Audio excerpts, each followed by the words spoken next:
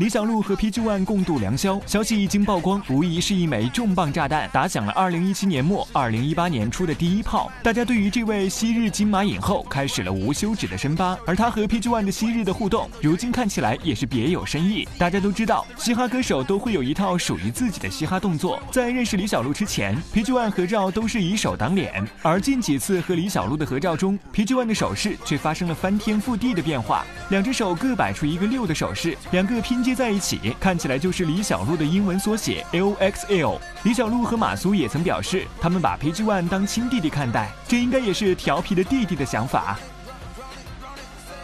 优酷娱乐整理报道。想获得更多独家娱乐资讯，欢迎关注优酷土豆娱乐微信公众号，微博搜索优酷娱乐全娱乐早八点，get 更多八卦猛料，还有超多明星周边和签名福利等说长得好看的人都在关注哟。